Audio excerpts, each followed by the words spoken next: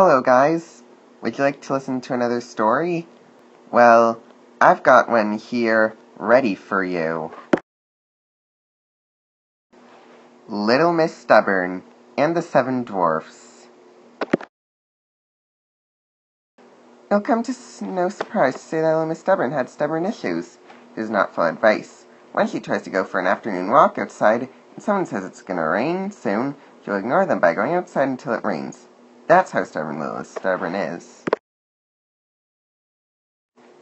Later that day, she found a house in the middle of the woods and decided that she would stay there to keep herself from the wet rain. She knocked on the door. Come in, said some little voices. As she arrived in the house, there were seven dwarfs Sneezy, Bashful, Sleepy, Doc, Grumpy, Happy, and Dopey. Then there was another surprise. But it was an unusual surprise. It was the bad fairy godmother. She had a gift for Little Miss Stubborn. However, the gift was a trick. Little Miss Stubborn was excited to open the gift.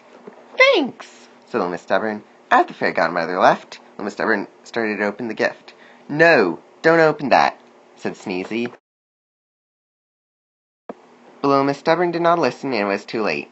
Present was a spell that would stick her to the ceiling. Oh dear, said Doc. I think we need to get her down. And so all the dwarfs climbed a ladder to rescue Miss Stubborn for helping her off the ceiling. Just as the rain stopped falling from outside, the dwarfs were very bored, so they needed some exercise. Later that day, as they reached the mountain's garden, it was the return of the bad fairy godmother holding a watering can. Want to water my plants? asked the bad fairy godmother. You can't water the plants, said Bashful. Well, Miss Stubborn did not listen, and she watered the plants.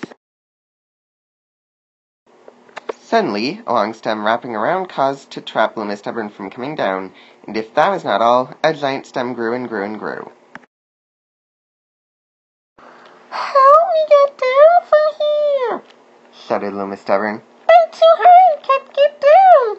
She was right. She could not also breathe, poor Miss Stubborn. It wasn't long till Miss Helpful came around the corner.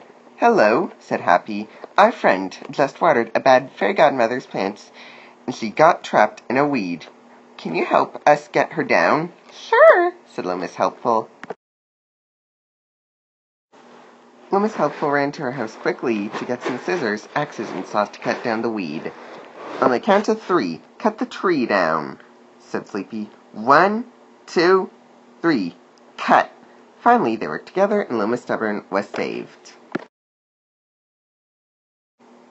After saving Little Miss Stubborn, the dwarfs were starving, so they decided to get a picnic. But then the fairy godmother came again and gave her an apple. You can't eat that apple, said Dopey. And for the third time that day, Little Miss Stubborn did not listen and she ate the apple. And do you know what happened next? Of course, she turned into a toad. Well, that's odd, said Bashful. Now what are we going to do? Just take her to the pond, said Happy, and they did. Now, whenever someone comes around and talk to her, she would talk back. Hello, guys. I hope you enjoyed the story, and please check out my other stories in the channel. Please hit that like button, comment down in the comments section below. And don't forget to subscribe.